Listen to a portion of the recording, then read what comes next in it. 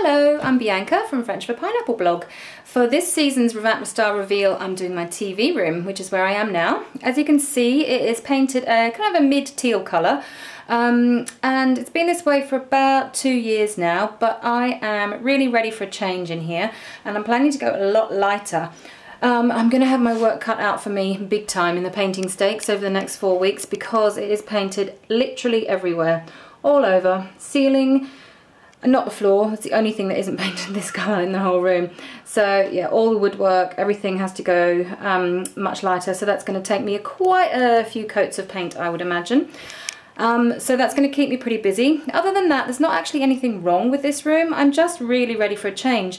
The TV's always been in a bit of a strange place, so we're going to relocate that. So there'll be a bit of a furniture shuffle going on. Some lovely new pieces coming in from some of our fabulous sponsors. Um, and yeah, I'm going to give you a tour of the room now and show you what I'm going to be changing and hopefully you'll stick around and see where we get to over the next couple of weeks.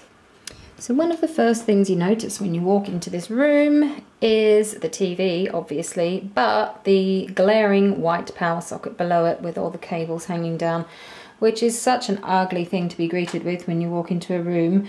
So we are actually going to be moving the television. We had it there for good reason because we've got this lovely low slouchy sofa in here. Um, so it's a very kind of casual space, but that really drives me mad and it's super ugly. So we're going to rectify that by moving the television to one of the walls, either this wall and we'll have the sofa up the other end, or um, on this wall.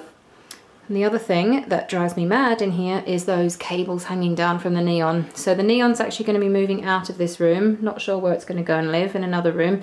Um, and yeah, as I said, TV will go either there or at the other end.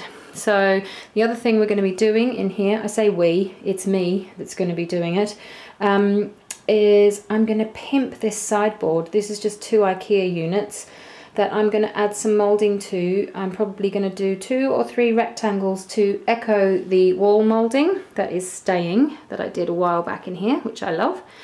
Um, yeah, and then I'm going to paint the whole thing a much paler colour, probably a couple of shades darker than whatever I end up choosing for the walls.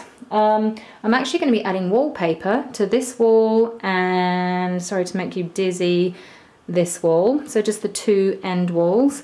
Um, and then I'll be painting the rest. There's a lot of painting to do because, as I said earlier, all the surfaces are covered. So the ceiling, the walls, the woodwork, everything. So I'll be doing an awful lot of painting over the next four weeks. One thing I don't have to paint is the radiators because they are being replaced. I've got some beautiful new radiators coming from one of our sponsors so um, that's exciting as they're going to look so much nicer than these bog standard builder job numbers. Um, and that's about it. We've got some really lovely pieces coming in from various sponsors um, and I can't wait to transform this room.